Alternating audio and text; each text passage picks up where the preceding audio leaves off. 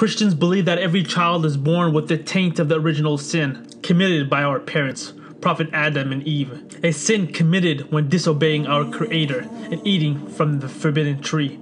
According to Islam, the notion of the original sin is inconsistent with the concept of detailing justice for the Almighty, the All Merciful.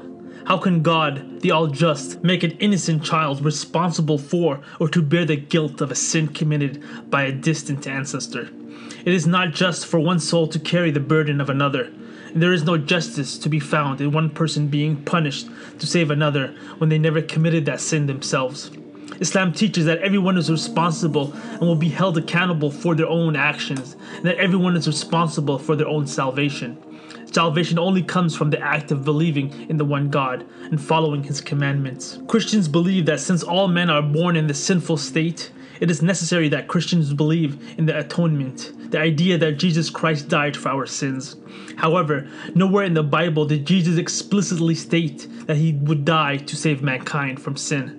According to the Holy Quran and the Bible itself, one can receive forgiveness of sins from God solely through the sincere repentance sought directly from God. If God the Almighty wished and willed to forgive mankind, then he certainly could have done without the need of sacrificing Jesus Christ, his supposedly begotten Son.